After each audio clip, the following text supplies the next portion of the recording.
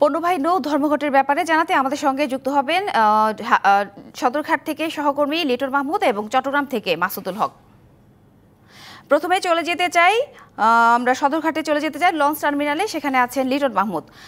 লিটন ধর্মঘটের ব্যাপারে নৌযান মালিকরা যেমনটা জানিয়েছেন, তাদের দাবি দেওয়া সবগুলো মেনে নেওয়া সম্ভব হয়নি।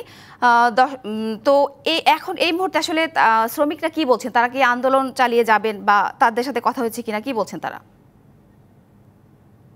জান্নাত আপনাকে ধন্যবাদ। এর আগে যেমনটি বলছিলাম নৌপথে চাঁদাবাজি এবং শ্রমিকদের খাদ্য ভাতা প্রদান সহ প্রায় এগারোটি দাবি নিয়ে আজ কিন্তু নৌযান নৌপথের যে পণ্যবাহী জাহাজ রয়েছে, সেই পণ্যবাহী জাহাজে ধর্মঘটের ডাক দিয়েছেন নৌযান শ্রমিক ফেডারেশন এবং তাদের ডাকে সাড়া দিয়ে ইতিমধ্যেই কিন্তু রাত বারোটা এক মিনিট থেকে এই ধর্মঘট শুরু হয়েছে এবং ধর্মঘটের ফলে আসলে পণ্যবাহী যে সকল জাহাজ রয়েছে, বিশেষ করে বলগেট কার্গো জাহাজ এবং পাশাপাশি লাইটার যে জাহাজগুলো, সেই জাহাজগুলোতে কিন্তু পণ্য পরিবহন বন্ধ রয়েছে এবং এতে করে কিন্তু ব্যবসায়ীরা একরকম ক্ষতির মুখে পড়েছেন এবং এই সকল, যে সকল পণ্য আপনার হচ্ছে গিয়ে আমদানি, রপ্তানি কথা রয়েছে, এই সকল নৌযানগুলোতে সেখানে কিন্তু একটি বিরূপ প্রভাব পড়ছে।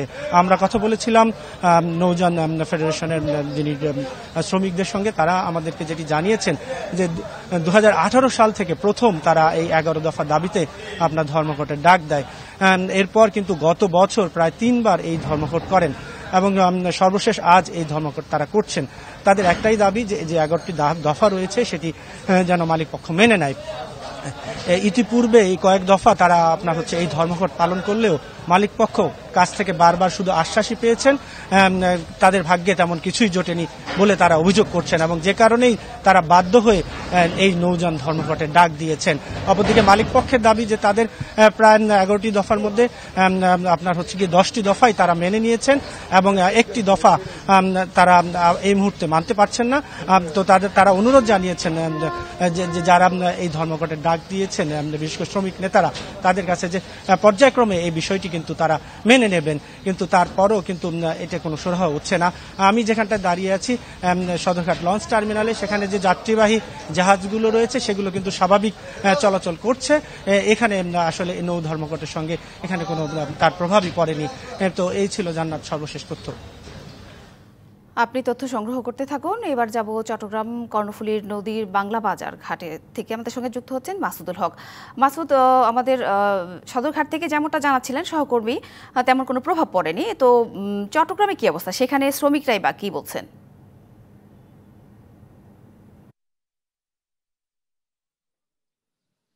নৌ ধর্মঘটের ফলে গতকাল সন্ধ্যার পর থেকেই চট্টগ্রামের কর্ণফুলের ষোলোটি ঘাটে পণ্য উঠানামা পণ্য খালাস বন্ধ রয়েছে।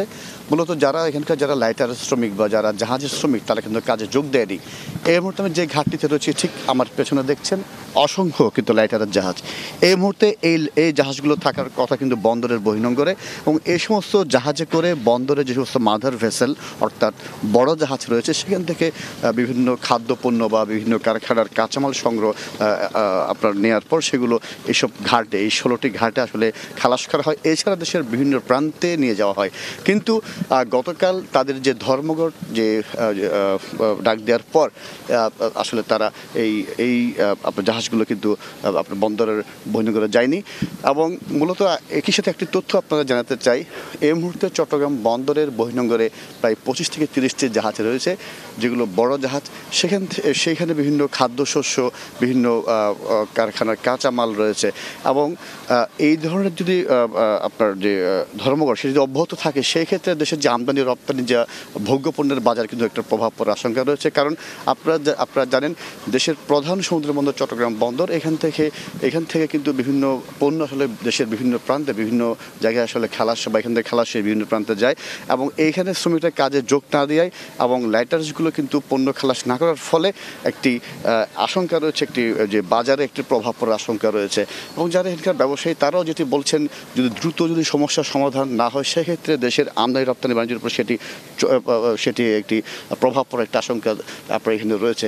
আপনারা দেখছেন এখানে অসংখ্য অসংখ্য লাইটারের জাহাজ, তারা এখানে শ্রমিকরা তারা কাজে যোগ দেয়নি। এবং এখানকার যারা শ্রমিক নেতৃবৃন্দ, তারা আমাদেরকে জানিয়েছেন, তাদের দাবি মেনে না নেওয়া পর্যন্ত তারা তাদের যে ধর্মঘট, সেটি অব্যাহত রাখবেন।